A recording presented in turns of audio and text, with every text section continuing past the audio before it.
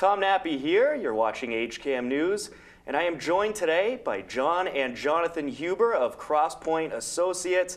Guys, how's it going today? Very well, thanks. Doing well, yeah. All right, now to start off, can you tell us a little bit about what Crosspoint Associates does? Uh, we build, own, and manage grocery anchored shopping centers and commercial properties throughout New England. All right, now uh, Crosspoint Associates recently purchased a property over at 61 Main Street here in Hopkinton, the former Colellas. Can you tell us why you guys decided to make that purchase? I think it just it falls in line with our our business platform of uh, owning uh, community shopping centers in New England communities, and uh, we are, we're close to home. Our office is in Waltham. Uh, some of us grew up in Natick. Some of us grew up in Belmont. We know the area. We love the town, and we're interested in buying a grocery-anchored facility um, in communities around Boston. Now, uh, some residents are unhappy that a CVS is going there. What would you say to those residents? Well, I wish, I, I, am sorry that we've disappointed a number of people um, uh, as a result of putting in a CVS, but I think that it was really the, um, the demand that came out of the market, um, and that's really what, what spoke to the vacancy. Um, we, we tried other, other avenues, and our marketing campaign sort of centered on CVS at the end of the day uh, when we were unable to deliver a grocery store. Now, you mentioned in an open letter that you sent to the community that uh, you reached out to a number of grocery stores, but they weren't interested in the former Colellas Plaza. Why do you think that is after Colellas was successful there for so long? Well, Colellas was successful there for so long because there was no other competition in the market. As soon as Price Chopper opened, Colellas saw a significant decline in their sales year over year. Uh, when we brought those sales numbers to other grocery operators, uh, we thought there may be an opportunity for a different format store that had different offerings um, that would do well in this market. And unfortunately, that was not the case. Did CVS reach out to Crosspoint Associates about this, or did Crosspoint Associates reach out to CVS? We're in a business that we're in touch with tenants all the time, eh, regularly. It's almost difficult to say who went to whom. Uh, we have CVS as a tenant in other facilities. Um, we have uh, regular meetings with the ICSC, which is the International Council of Shopping Centers. We're in contact with brokers and representatives of CVS on a regular basis, and we're always in constant communication with grocery stores as well. So we feel as though you know we have a, a good, fluid conversation with you know all levels of tenants in the retail business, um, so that uh, you know we try and get the, get any vacancy we have in our portfolio out to the market on a very aggressive basis to all types of tenants. And uh, essentially, uh, CVS expressed the strong. Actually, their interest was very late in the process, um, but uh, it was it was a welcome interest because we thought it was a good utilization for uh, for the building and for the site. Some residents are worried that this could put Hopkinton Drug out of business. Um, was that a consideration in, in this process when, when CVS came to Crosspoint Associates? I don't think there's, that we have ever, as a, as a company, nor am I aware that CVS has ever, as a company, had a mission to put other businesses out of business. I just don't think that's good business. I think that we are we do business in many many New England towns, and basically, we've seen independents thrive. Uh, and we've seen some of the national companies not do as well because they don't know the market as well. They're not as, they're not as accustomed to doing business in a small market. Uh, so I would say that uh, that is never anyone's mission.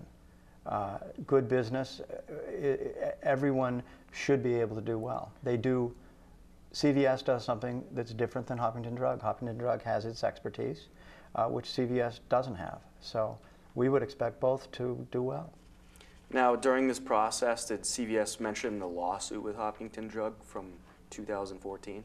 We're really not familiar with, uh, and it's really, we do business with the retail pharmacy um, division, and that's really the real estate division. Um, so we really don't know anything about the, the, the other uh, corporations that, you know, are under the umbrella.